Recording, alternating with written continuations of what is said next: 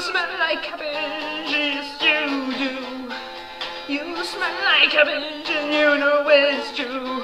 I don't know how many times I've got to tell you. You smell like cabbage. You smell like cabbage on a rainy day.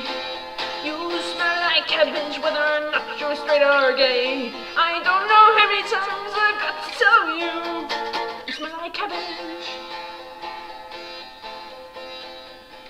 Sometimes you smell like a banana.